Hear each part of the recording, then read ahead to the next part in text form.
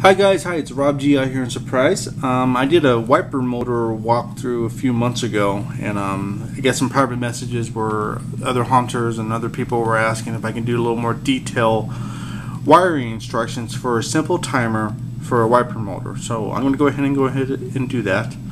Um, for those who do not do who are, do not know where to get these, I purchased mine through Amazon.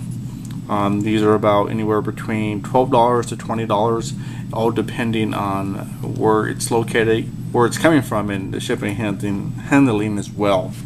So this is a simple prop controller, or it's called a 6062 timer. Let me go over the bottom wiring slots right here. We get one for trigger, one for negative, one for positive, one for NO, which is normally open, one for C, which is your common, and one is NC for normally closed. For our application, since we're just going to turn on a wiper motor and turn it off, we're not going to be using this one at all. Um, the dip switches right here, I can't remember when I purchased mine if I had to um, kind of move them to what states they need to be in. But I do know for our, application, um, it goes from 1 through 4, 1 being the bottom, 4 being on top, 1 being off, 2 and 3 being on, and 4 being off. Now you remember when you are operating a wiper motor and let's say you don't purchase your wiper motor kit from either Fright Props or Monster Guts, you get all everything separately. Your power supply, your power adapter, your AC power adapter needs to be 12 volts and it needs to be 5 amps at a minimum. Anything less than 5 amps, you will not be able to operate your wiper motor and it's kind of a waste of time and a waste of money. So that's something to really consider. I did look in the prices um, last year, I mean last year, last night for both sites, and they, are pretty much similar in price. Uh, I think they're off a couple bucks from each other. Um, I think Monster Guts is like 49 something. I don't know the exact change, so you figure shipping and handling maybe another eight bucks towards that. So you're looking a little over, you know, 55 $58 at the possibility for to get those from Monster Guts. Similar also with Fright Props. So with this being um, less than what what do we have here? We got 32 days to Halloween for 2014.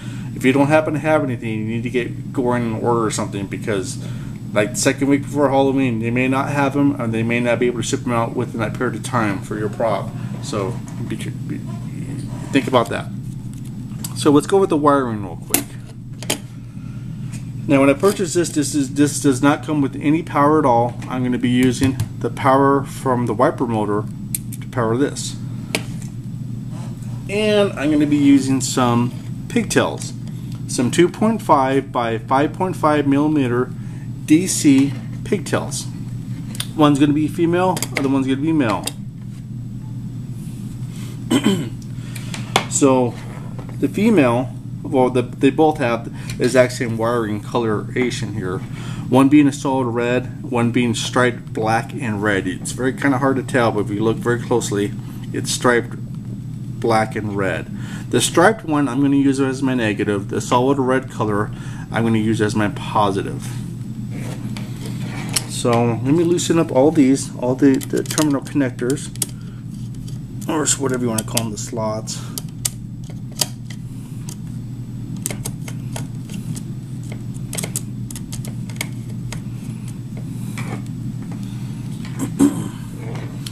So for the power going in, obviously black's going to be the negative and the red's going to be the positive. I'm not going to tighten it down just yet. I'm going to wait because there's more wires going in those slots. now your pigtail going to your wiper motor to turn it on, the power outgoing, is done a little differently. The black and red will go to the negative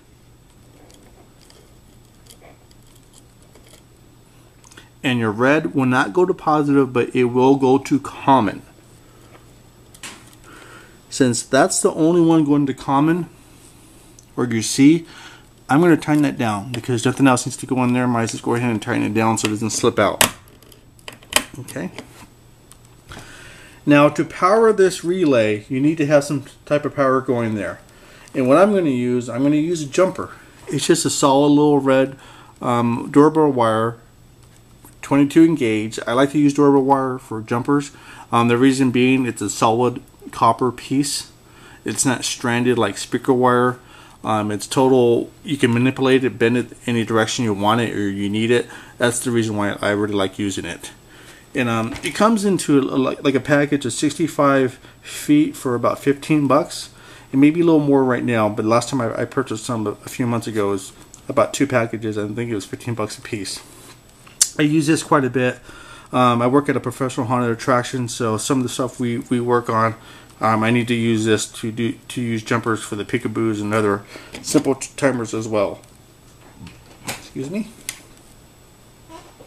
So, for this, for the nor the NO, the normally open, I'm going to slide that puppy right in there.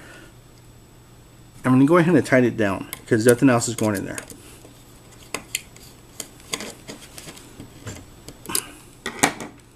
Okay. Now the other end of it's going to go to your positive. This slipped out. Okay.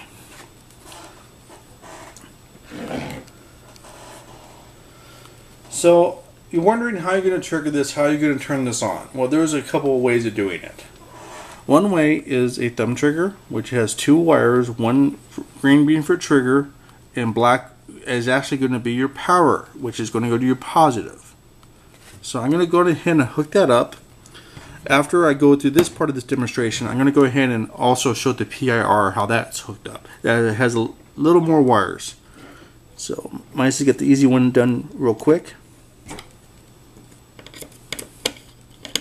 Tighten down the green for trigger. Since nothing else is going to negative, go ahead and tighten that, that thing down. Whoops. And your black going to the positive.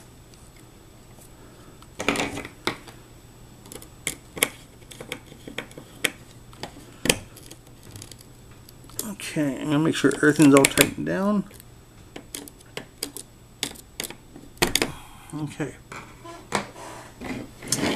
Now, before I hook up my wiper motor to the simple timer, I'm going to make sure I have the I have the power, which I do because the green LED light is on. Now, when you are going to turn on your wiper motor, you want it flat like this. You don't want it turned to this direction or upside down or facing um, the, your table or the floor or the ground. Uh, if you do that and you turn on, it's going to whip right, right around. It's going to maybe possibly come right back at you, and, and it has some torque to it, so it's going to hurt. I'm speaking from experience, so have it light flat down. Make sure it's it's working. Yes, it's working. Place that there. Now my power female is going to go into there. Immediately my simple timer turned on so we know we have power going to there. Okay. Then my power going out male going into female. Okay, so that's all hooked up. This is the little wheel right here. You can operate it for a couple seconds by just barely turning it or even up to a full hour if you wish to by going all the way um, clockwise. Going counterclockwise, I only want to operate it for a few seconds. So I'm going to just turn it barely, hit the thumb trigger, and there you go. Pretty simple. Alright. Now I'm going to remove the thumb trigger and I'm going to go over the PIR. So I'm going to loosen the, the trigger in the positive and slide those two out.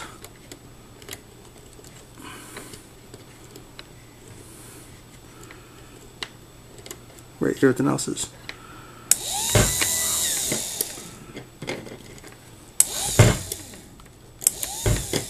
The reason why it's turning on by itself is because it's the first time it's being powered. It got disconnected, so when it's being powered, it'll turn off. So, it keeps on slipping out. Oh.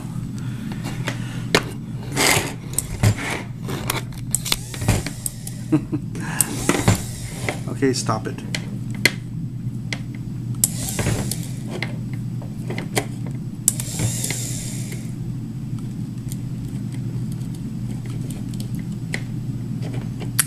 Kind of hook it just so it can stay.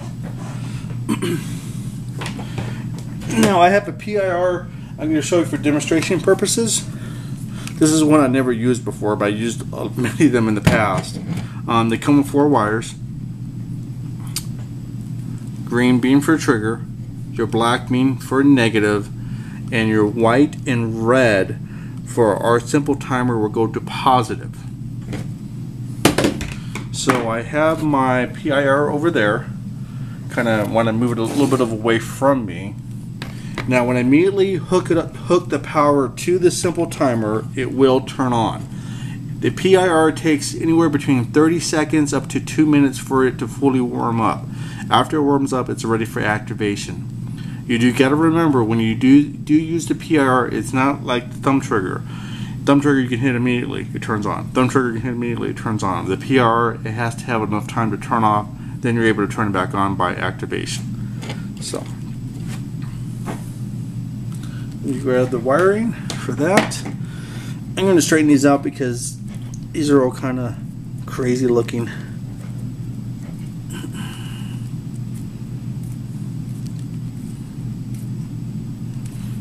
I'm going to hook up my power first, which is going to go to your positive. Tighten that puppy down.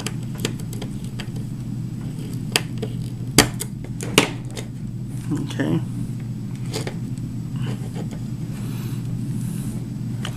My negative, I got to loosen somewhat because I tightened it down previously.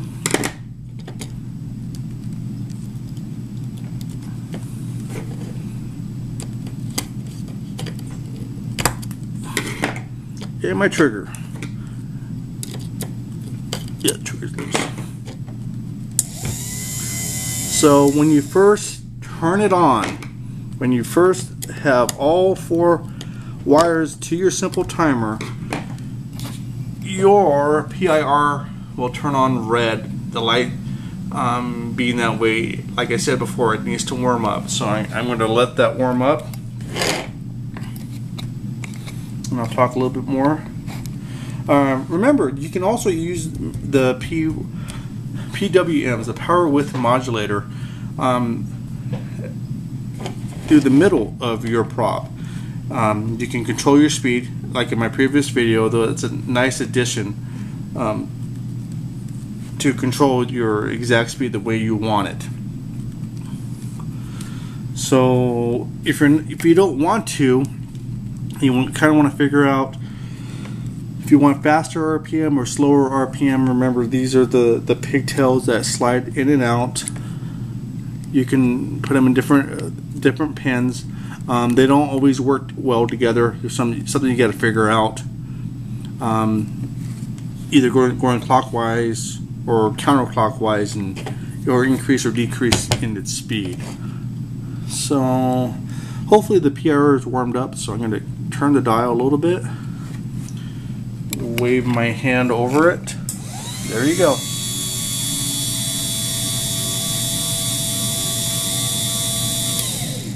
So as you see, see I barely got in that area and it just turned on.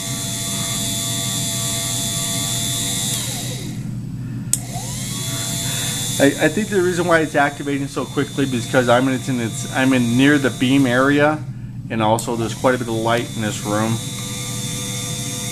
Let me turn up, up the time there a little bit. I'm pretty sure if I set it to a different area of the table, it wouldn't activate as much.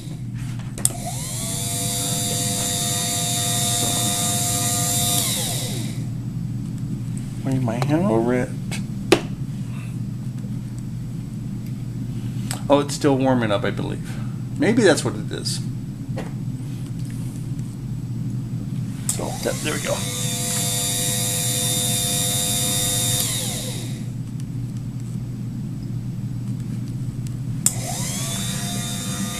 Now with the light being on right there, you can hear the motor in the background. With the light still being on, it won't activate. It has to turn off completely.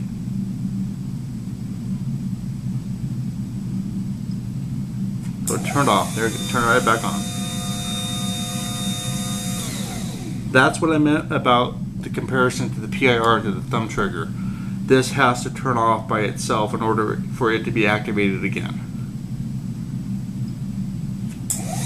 So there you go. So there is the wiring for the simple timer. I'm going to go ahead and disconnect this so it doesn't turn on.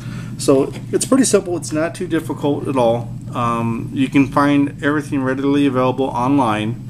Um, your simple timer, your pigtails, your wiper motor kit, and um, only thing you probably need to buy from the home from the from your um, home improvement store is maybe some uh, additional wire. And you can use speaker wire if you have that. That works just as well. I just prefer personally to use doorbell wire because it's it's much more um, maneuverable.